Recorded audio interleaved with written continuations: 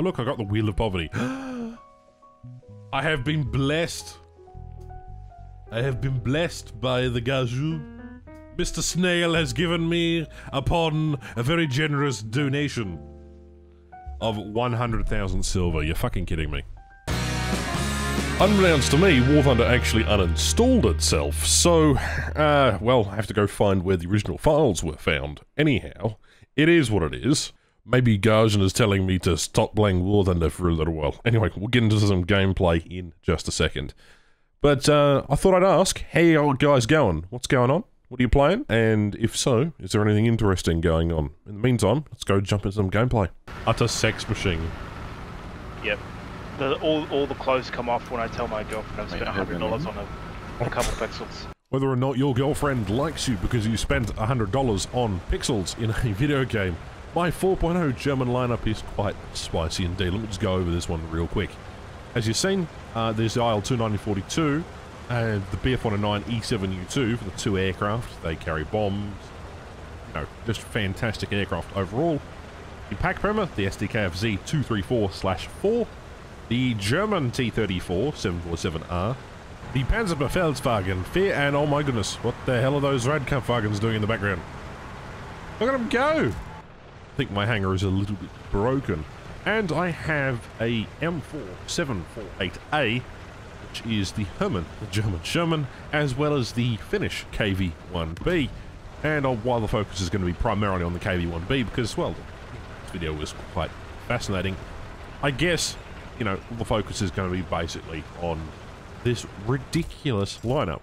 Now, I have no problems getting 3, 4 kill games, 5 kill games, and there's an average just with this lineup alone. So, it's unbeknownst to me when my whole entire squad gets like 7 to 8 kills between themselves, uh, and I can't compete. Hell, Apex has a fantastic round this time. Uh, dressed in his fancy party hat with a wizard and a, a sprinkler effect on top of his tank there. But yeah, KV-1B is, is an extremely powerful vehicle. The German Sherman is an extremely powerful vehicle. The other vehicles in the lineup are equally good in their own line. The lineup itself costs quite a pretty penny. and I'm not entirely sure what to think of it, honestly. Is it pay to win, or is it just a case of collector's uh, revenge, I suppose? Because obviously this is low tier, so the KV-1B is basically just something that can bounce absolutely everything aside from maybe the occasional 17 pounder. You will have uh, bad luck against vehicles that actually know what they're doing, but the KV-1B is a fantastic vehicle. Unlike the Panzer IV which I'm driving right now, which is still a fantastic tank, I'm just terrible at playing tanks in general, more of a pilot personality in myself. But that doesn't necessarily matter. I've only got two aircraft left to unlock, the F4E and the F4C that precedes it. And as you can see here, this tank, well, it's kind of exposed. Apex can sit there perfectly fine, without risk of having anything happen to his particular vehicle because it's extremely up-armoured. Panzer IV on the other end, well, it is a late war Panzer, but still, it doesn't necessarily, I guess, field enough sort of armour to really deflect or do any sort of meaningful thing. It is basically a, a sort of a long-range brawler, whereas the KV is extremely close in sort of uh, support vehicle, which at the same time can pack an offensive punch. I'm Looking at Apex on the top of the leaderboard there already, he's just going ham on things. By the way, do you like my esports ready uh, KV-1B? Painted that on the sides because I thought, well, if you've got a hundred dollar tank, you may as well dress it up. And obviously, I put Mike's decal on the front of the gun there. It's absolutely cursed.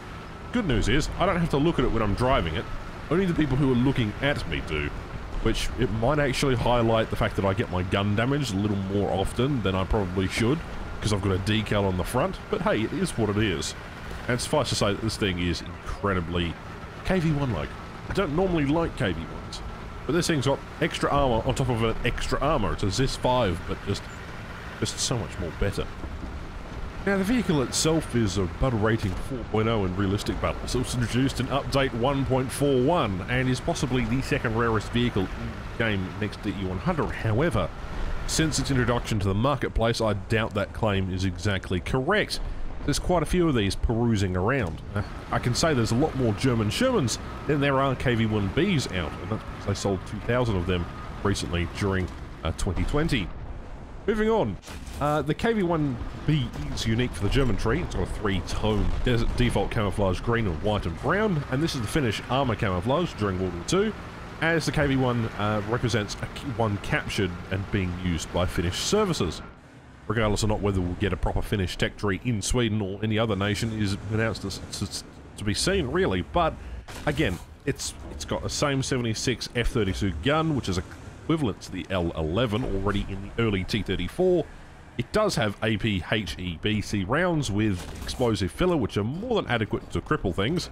Considering volumetric changes, this thing is kind of lethal depending if you can actually get hits on things. And again, I'm not a tanker, but the reason I'm featuring this clip is because what happens at the end of the video. More importantly, the armor on the KV-1B is brought up to its great amount, especially for its battle rating. You know, it's got additional 25mm plates and is different from the ZIS-5, which is already up-armored KV-1 as is.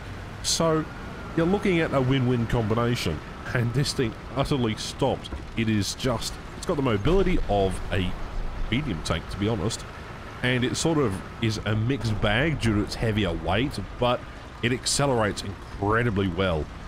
So regardless of where you shove this vehicle, unless you just plow it in a straight line, it does turn particularly poorly. Its mobility is severely lacking, however, if you just throw it in a, in a straight line, this thing will go where it wants to go.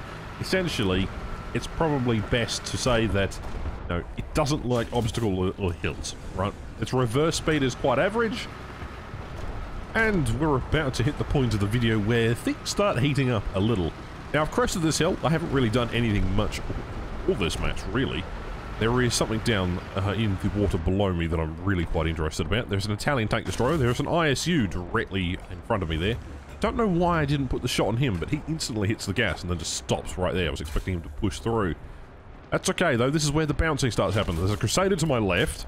Sorry, my right. I'm trying to take out that, uh, that little Italian tank destroyer because those things are an utter pain. As you can see, the ISU is now going to have a go. Is he going to absolutely obliterate me? This is the scary vehicle. Nope, he only manages to take off my tracks. Because, well, this thing has extra 25mm armor on the hull, front and sides, and 30mm on the turrets. A very decent brawler and, and earns a decent silver line. And they haven't quite knocked out my gun just yet. So I'm just trying to wiggle a little bit and try and knock out this guy's gun because he's honestly a major threat to me right now. As you can see here, he just kind of, kind of Goes for a cliff dive. I don't know what he was doing. I really don't know what he was doing. Crusader uh, completely just obliterated him earlier. But I would like to take out this guy. And we're just sitting here repairing. This is what this thing was designed for. Just abusing damage.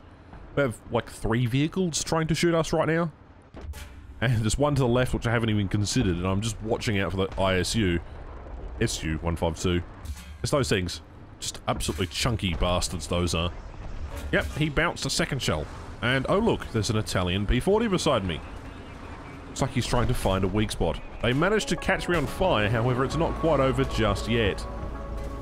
Doesn't necessarily matter because this tank is essentially dead, but you can see what I mean by decent armor. If anything, I just ran out of footage and I couldn't really show you much. But anyway, it is what it is. I hope you enjoyed today's video. Bit short, bit lackluster, but hey, it's content, isn't it?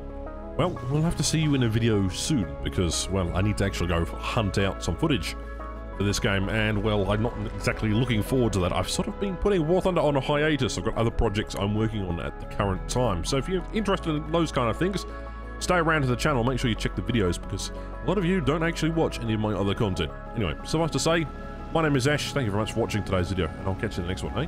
Bye-bye.